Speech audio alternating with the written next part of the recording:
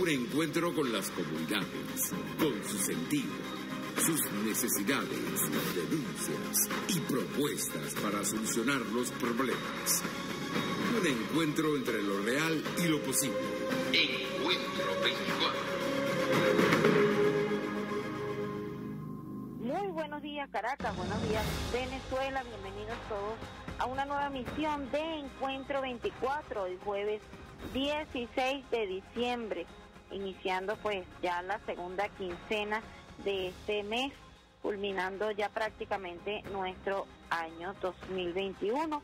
Damos inicio a nuestro programa como siempre, recordando nuestro contacto, nuestro canal de comunicación a través del 0412 318 5161 0412 318 5161 por WhatsApp eh, hoy pues compartiremos desde distintos espacios comunitarios de la Gran Caracas, del área metropolitana, de eh, parte también del estado Miranda e iniciamos entonces nuestro recorrido desde la parroquia El Paraíso, un eh, reportaje que comparte Luisiana Caicedo desde el barrio Las Brisas del Paraíso, pues los vecinos se sienten abandonados por las autoridades. Cuentan que desde hace tres años tres años hay un bote de aguas blancas que se ha convertido en un problema para esta comunidad. No solo porque en el sector padecen la falta de agua, sino porque además temen que pueda caerse alguna de las casas debido a que se está socavando este terreno. Adelante, Luisiana. Buenos días, gracias Estudios por el Pase. En el barrio Brisas del Paraíso de la Cota 905, los vecinos se sienten abandonados por las autoridades nos comentan que desde hace más de tres años hay un bote de agua que se ha convertido en un problema, ya que no ha sido reparado y temen que puedan caerse algunas casas debido a que se está socavando el terreno. Escuchemos. Este hueco que ha causado la tubería rota de agua blanca. Fíjense la magnitud de todo esto que está socavando las casas aledaña a esto. Y lo capital parece ser que no para a todo esto. Tienen tres años, tres años en Piensa. Un peligro para todos nosotros. Tengo aquí una persona que quiere pasar por encima de ese, de este zinc que eh, lo utiliza como puente. Y es un problema, pero es un peligro para niños, adultos, mayores. Edith Aguilar, desde la Puerta 905, Barrio Paraíso, sexto. Para Encuentro 24, Luisiana Caicedo. Muchísimas gracias a Luisiana Caicedo por eh, compartir pues esta necesidad que hoy eh, comparten también los vecinos de las brisas del paraíso, esta comunidad cercana pues a nuestra instalación en RCR, ciertamente abandonados por las autoridades. Mucho peligro, mucho peligro nos refiere esta situación que, eh, repito, nos comparte Luisiana desde el paraíso.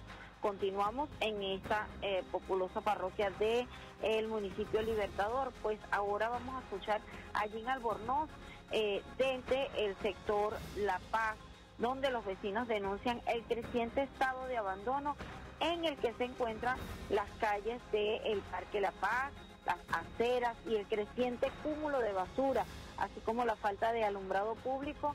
Eh, por supuesto, esto incrementa la inseguridad en este sector. Vale resaltar que hace ya algunos meses esta situación se viene denunciando a través de Encuentro 24. Los vecinos han compartido en reiteradas oportunidades esta denuncia. Escuchemos en esta oportunidad. Adelante, Jim. Desde Encuentro 24 nos hacemos presentes en la parroquia del Paraíso, urbanización El Parque, a solicitud de los ciudadanos de esta importante comunidad capitalina y es que llevan gran desesperación producto de la desidia en que se encuentra este importante parque de esta comunidad y además la calle y el cúmulo de basura. Escuchemos lo que nos dicen desde acá. Les habla Omar Aria, vecino de acá del sector del Paraíso. En este momento nos encontramos frente al Parque La Paz de la Parroquia del Paraíso. Y en este caso, o en esta oportunidad, porque queremos denunciar la caída de un árbol enfrente del Parque La Paz precisamente desde hace ocho días y no han venido las autoridades competentes para retirar dicho árbol árbol que nos ha estado ocasionando problemas, puesto que se llevó unos cables de la iluminación del mismo parque y parte de las adyacencias, la parte vial de las adyacencias del parque. Y como quiera, pues que se han hecho infructuosas diligencias para que esto se resuelva, no ha sido posible así. Sin embargo, entonces quiero pues hacerle un llamado de urgencia. Nosotros queremos hacer un llamado de urgencia a todos ustedes.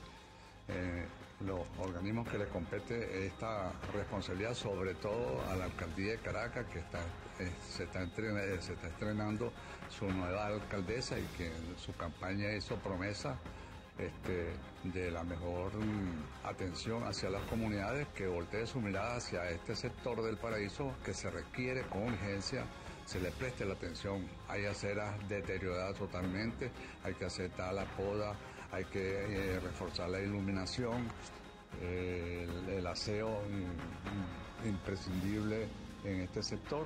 Y, como usted verá, pues ese árbol que está caído ahí hace, hace ya unos días atrás, está secándose sus partes eh, del mismo y entonces está siendo objeto o está produciéndose allí prácticamente un centro de acopio de basura, porque la gente comienza a botar basura y como la ciudad no pasa con la frecuencia que se requiere, entonces hay este problema. De manera que yo quiero y agradezco en nombre de la comunidad en la cual estamos aquí recibiendo que se le preste la atención, ciudadana alcaldesa tiene trabajo allí para que le dé a sus comisiones, mande a alguna gente a que vea cuál es la situación, ya se la estoy mostrando a través de esta fotografía y nos dé la atención que se requiere un sector de la ciudad de Caracas, de la cual pues usted hizo en su campaña este, mm, alusión de que iba a atenderla cuando estuviera en el cargo. Fue así como las cámaras de encuentro 24 atendieron la solicitud de la comunidad en esta parroquia del oeste caraqueño. Y con ello devolvemos el pase a los estudios. Reportó para ustedes Jean Albornoz, Encuentro 24.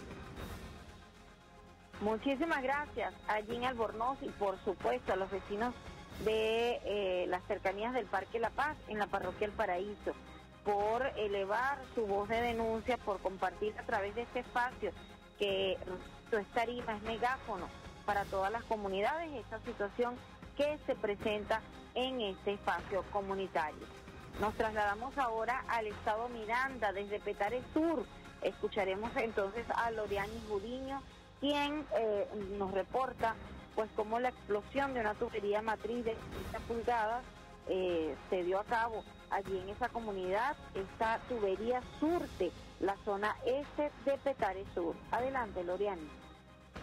Buenos días, estudio. La noche de ayer se explotó la tubería matriz de 40 pulgadas en el barrio La Mina de Petare Sur, en el municipio de Una tubería que surte la zona este de Petare Sur generó gran preocupación en los vecinos por la gran presión que se mantuvo hasta alta hora de la noche y podría colapsar estructuras cercanas, entre ellas una cancha deportiva y los módulos de barrio Los vecinos alertan a las autoridades a que se haga una inspección por parte de Protección Civil e Hidrocapital.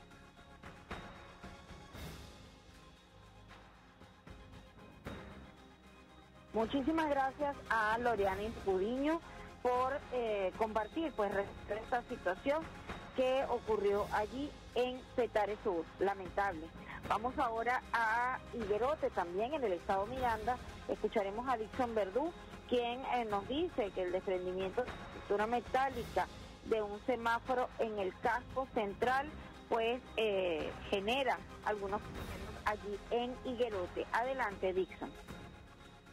Gracias a los estudios de Encuentro 24 por el pase la falta de mantenimiento del mobiliario urbano se convierte en una amenaza de muerte para los transeúntes de las calles de Higuerote. En el lente de Encuentro 24 podemos observar el desprendimiento de la estructura metálica de las luces de control de tránsito en pleno casco central de Guerote. Gracias a Dios que ningún peatón fue leccionado al momento que se desprende a consecuencia del avanzado estado de corrupción que poseía la pieza metálica.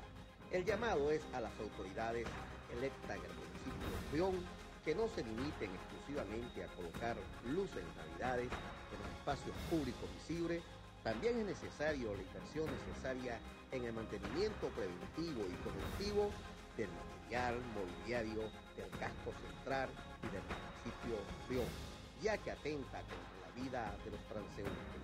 Desde Barlovento para Encuentro 24, Dixon Verdú.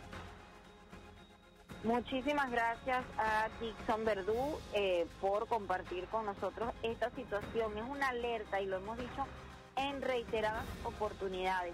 ¿Cuántas veces las comunidades eh, realizan estos llamados, estas alertas? Eh, es decir, que situaciones como esta pueden evitarse, pueden solucionarse. Esto fue falta de mantenimiento. Las autoridades no atendieron el llamado oportuno. Esta comunidad organizada realizó y eh, ciertamente pues por eso se da ese desprendimiento. Una lamentable situación porque como muy bien dice nuestro corresponsal Dixon Verdú, eh, pues bueno, hay presupuesto para alumbrar, para hacer Navidad en las placitas, eh, para maquillar ¿no? las avenidas principales, pero no hay para atender situaciones que ponen en riesgo a las comunidades como esta que acabamos de escuchar. Continuamos en Higuerote también con Dixon Verdú quien eh, comparte con nosotros pues el colapso de postes de tendido eléctrico, que esto por supuesto genera miedo, genera eh, temor en los ciudadanos de esa zona. Adelante, Víctor. Buenos días, estudios. Desde Encuentro 24 hemos sostenido una campaña hacerle entender a las autoridades la necesidad de hacer la inversión necesaria en el sistema eléctrico nacional.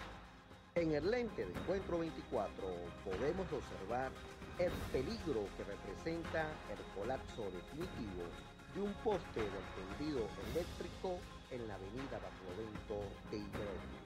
El tiempo de vida útil del metal por la exposición a la intemperie no es respetado por la empresa Electric, lo cual puede ocasionar una tragedia en cualquier momento, trayendo como consecuencia la pérdida de vidas humanas o daño material. El llamado es a las autoridades que hagan la sustitución inmediata de este poste de luz ubicado en la avenida Barlovento. Desde Barlovento, Encuentro 24, Dixon Verdú. Muchísimas gracias a Dixon Verdú por eh, compartir nuevamente con nosotros esta situación, este otro llamado de alerta similar al anterior. Eh, es importante recordar que en esta en este estado hay un gobernador que fue reelecto. Esta situación eh, se presenta allí y no es una situación que ocurrió ayer, eso es algo de vieja data que hay que atender, es una situación que debe prestársele la debida atención, no solo porque puede dejar sin el servicio a toda la comunidad, sino que de ocurrir lo que nos comentaba hace rato Dixon Verdú también desde Guerote, que se desprenda alguna estructura de estas, eh, pues porque ya está a punto de colapsar, puede también ocasionar daños físicos a transeúntes, a personas que estén en la zona. Eh, nosotros queremos agradecer una vez más a las comunidades que hoy se han hecho presentes en Encuentro 24 en el municipio Libertador, eh, pues a los vecinos del Paraíso, desde Petrasur también a, cada uno de los vecinos que eleva su voz de protesta desde Guerote con esta importante denuncia. Cada rincón en el que Encuentro 24 pues tenga la oportunidad de hacer llegar sus cámaras, su lente o cada uno de los corresponsales comunitarios para compartir las necesidades la voz de protesta, la denuncia y por supuesto también las noticias en positivo que hemos compartido por aquí. Para nosotros será de muchísimo gusto, muchísimo placer servir una vez más de plataforma, de megáfono, de tarima para que eh, necesidades o estas problemáticas tengan la oportuna solución.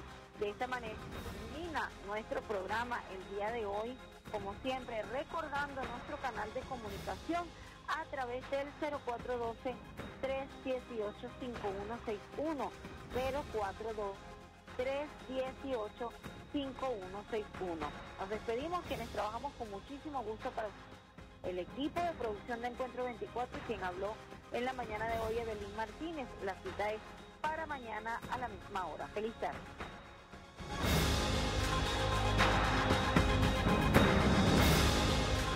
Hey.